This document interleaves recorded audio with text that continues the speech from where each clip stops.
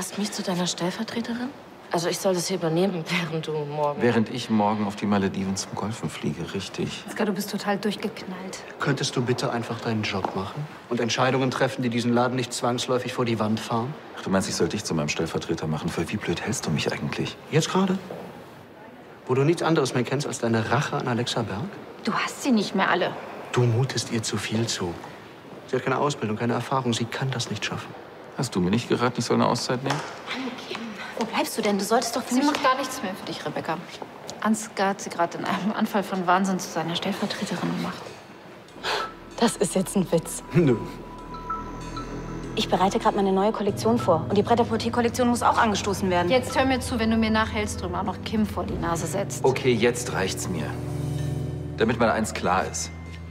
Ich bin Chef in diesem Laden. Ich entscheide. Dann werde ich dich für unzurechnungsfähig erklären lassen. Das ist nach der Nummer hier kein Problem. Versuch das mal, Tanja.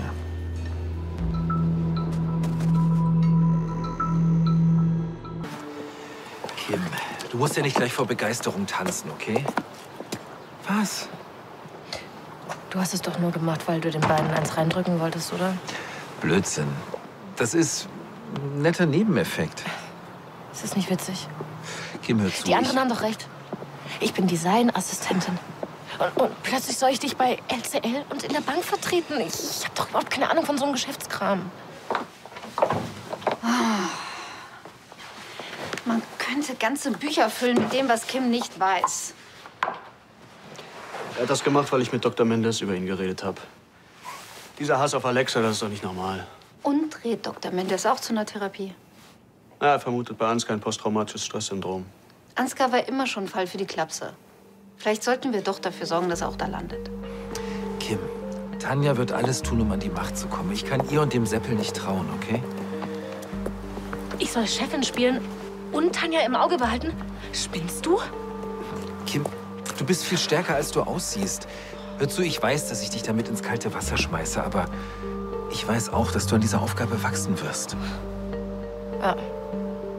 Und Tanja bindet mich auf die Streckbank. Ja, schon gut. Ich, ich lasse Kim in Ruhe. Ohne Gutmenschentum war das Leben einfacher.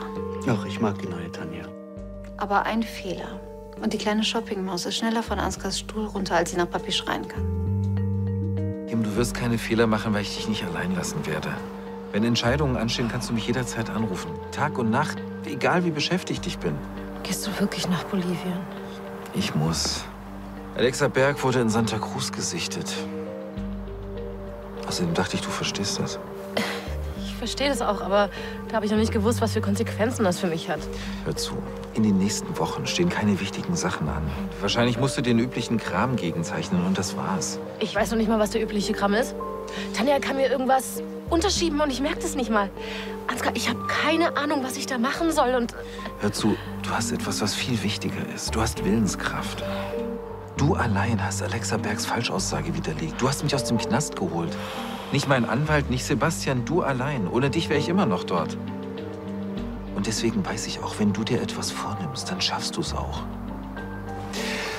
Außerdem wird es langsam wirklich mal Zeit, dass wir dich auf meine Nachfolge bei LCL vorbereiten. Oder willst du ewig für Rebecca Knöpfe sortieren?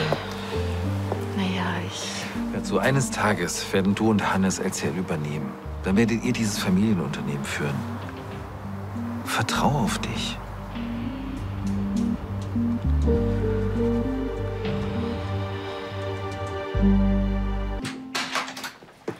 Hallo. Sorry, dass ich so spät bin. Schade, jetzt haben wir schon gegessen. Ähm, ja, ich habe auch schon mit Ansgar gegessen. Er wollte mich noch mal sehen, bevor er auf die Malediven fliegt. Hast du was von Emilio gehört? Ist er schon in Caracas? Ja, ich habe gerade mit ihm telefoniert. Er ist vor ein paar Stunden gelandet. Seiner Mama geht's wohl nicht so gut. Das wahrscheinlich funktioniert eine Niere nicht mehr richtig. Gott, das ist ja furchtbar. Ja, er bringt sie dann auch gleich ins Krankenhaus. Dann grüß mal schön und sag Bescheid, wenn wir irgendwas tun können. Champagner? Gibt's was zu feiern? Ansgar hat mich befördert. Du hast einen neuen Job? Gratuliere. Super. Aus was? Erzähl. Ich bin die neue stellvertretende Vorstandsvorsitzende von Lahnstein Enterprise.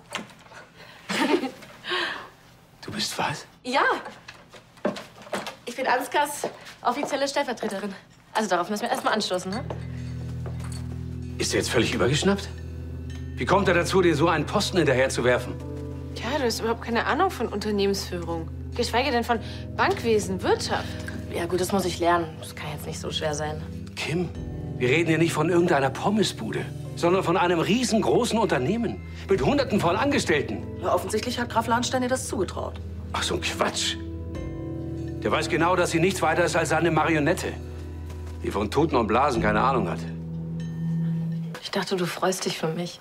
Das würde ich auch, wenn du dir diese Beförderung verdient hättest. Was? Ich arbeite seit über einem Jahr bei LCL. Und ich bin viel mehr als nur Ansgars Marionette. Ja, du bist Designassistentin. Aber das auch nur, weil, weil Ansgar dir diesen Job zugeschustert hat. So, vielleicht beruhigen wir uns alle. Weil er erkannt hat, dass ich für diesen Job die Beste war. Er glaubt an mich im Gegensatz zu euch. Wir wollen dir diese Beförderung doch auch gar nicht mies machen. Es ist nur. Wir machen uns Sorgen um dich. Ach ja? Weil ich einmal sowas wie Erfolg haben könnte? Nein, dass dir dieser Job einfach zehn Nummern zu groß ist. Weißt du, was du da für eine Verantwortung trägst? Du musst Entscheidungen treffen, die kannst du gar nicht überblicken, weil du dich einfach in der Materie nicht auskennst. Gut.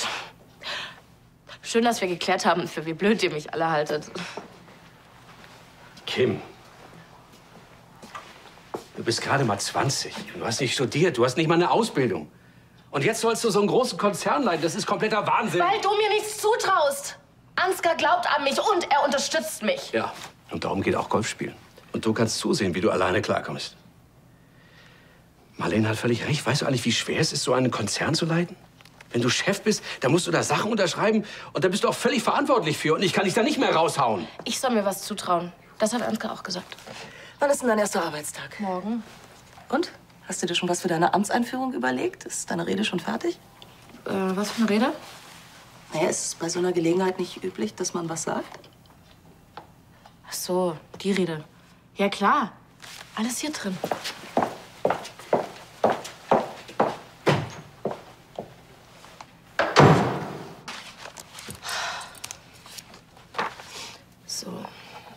Liebe Mitarbeiter,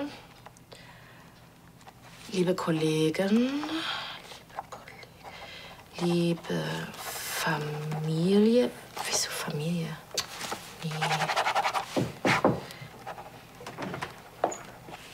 Darf ich kurz stören?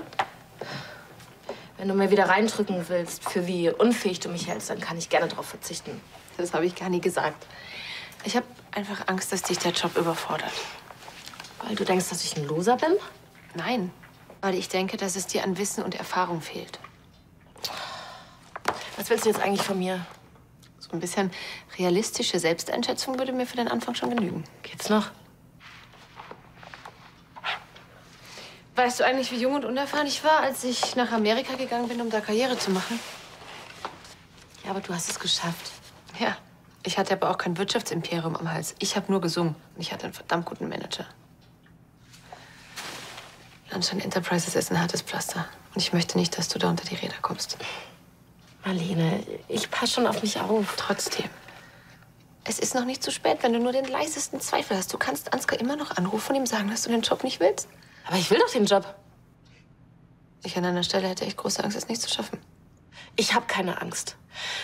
Ich sag dir jetzt mal, wer es hier nicht auf die Reihe kriegt. Du, deine Karriere ist schon längst vorbei und meine fängt erst an und das kannst du nicht aushalten. Okay? Wenn du das so siehst, dann sollte ich ja wohl besser gehen. Ja, das denke ich auch.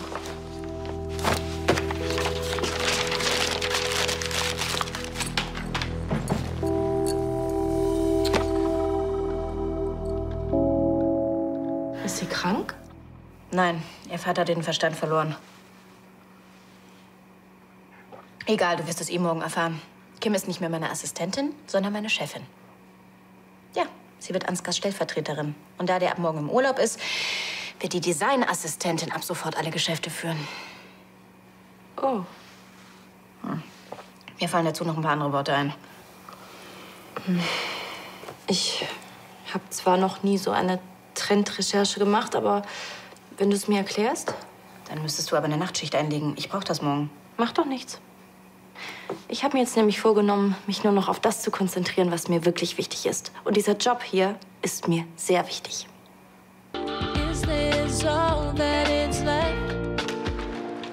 Kim? Äh, dein Vater ist schon los. Ich soll dir ausrichten. Ganz liebe Grüße und du schaffst das schon. Also, die Show kann beginnen. Ich schaff das. Ansgar hat recht. Ich schaff das. Ich schaff das. Ich schaff das.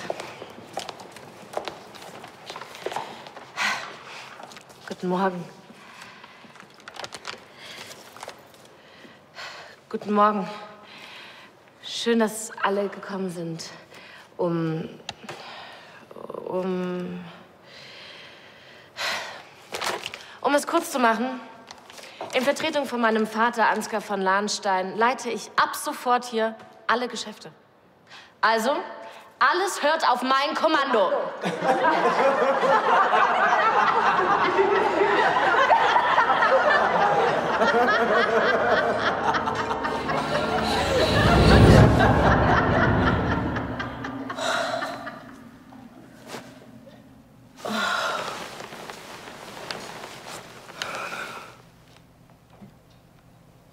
Oh Mann, wie soll ich denn das schaffen?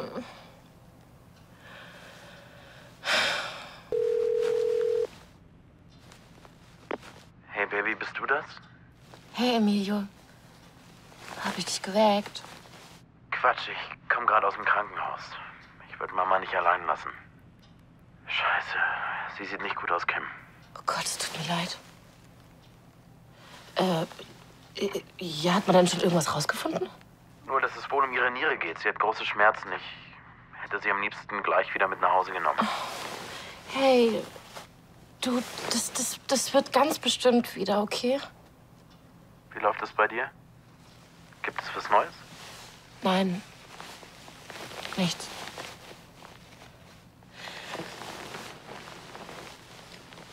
Außer, dass du mir fehlst. Du mir auch, Baby. Lass uns morgen noch mal telefonieren, okay? Ich, ich hau mich jetzt aufs Ohr. Okay. Schlaf gut. Träum was Süßes. Ich lieb dich, ja? Und ich dich.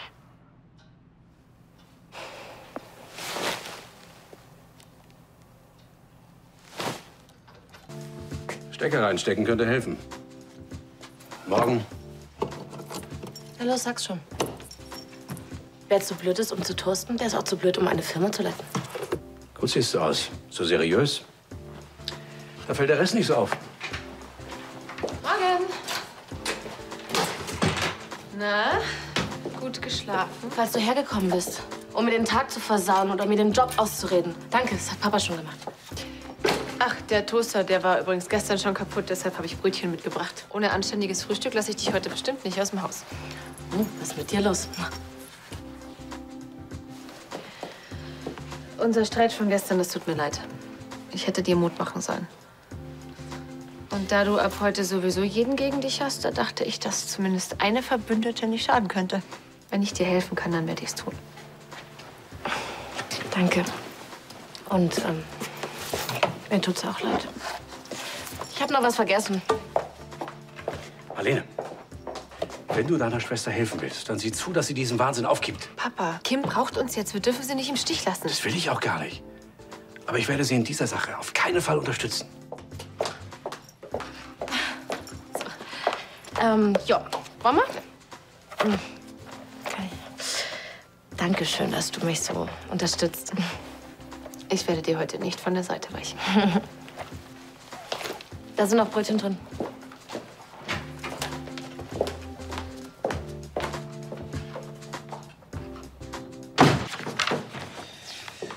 Kim, schön, dass du kommst. Marlene wird dich in den nächsten Tagen auf Stand bringen, okay? Okay. War es doch wieder Zweifel? Nö, es geht schon. Ja, ich bin trotzdem froh, dass ich nicht vor der ganzen Belegschaft alleine stehen muss. Ich würde wahrscheinlich peinlich rumstottern und heulend wegrennen. Ach so, die offizielle Übergabe. Ja. Wann geht denn dein Flieger? In einer Stunde. Der Fahrer holt mich in fünf Minuten ab. Ich soll ganz alleine vor der kompletten Belegschaft stehen und, und, und denen erzählen, dass ich deine Stellvertreterin bin? Kim, du schaffst das schon, okay? Außerdem ist es nur eine Begrüßungsrede. Kleiner Tipp von mir. Halt dich kurz. Wenn du irgendwelche Schwierigkeiten hast, du kannst mich anrufen. Jederzeit, okay? Viel Glück! Ich bin tot? Nein. Kim, ich habe das Memo schon rausgeschickt, also viel Glück.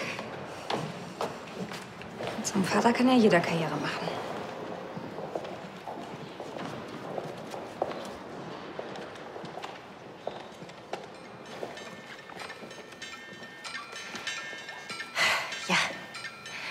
Guten Morgen, schön. dass- Guten Morgen. Schön, dass Sie alle hergekommen sind. Ähm, um.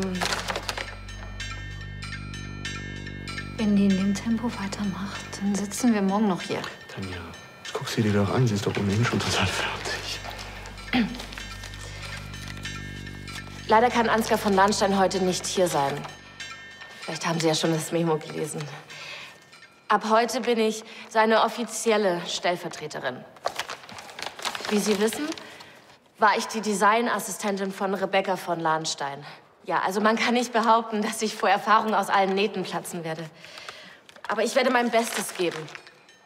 Nicht nur, weil Sie das von mir erwarten können, sondern auch, weil mein Vater mich dann einen ganzen Kopf kürzer machen wird. Also ich hoffe, dass wir gut und konstruktiv miteinander arbeiten können. Und wenn doch mal irgendwas anstehen sollte, dann kommen Sie einfach zu mir und wir finden eine Lösung. Ja. Sonst bleibt eigentlich alles wie gehabt.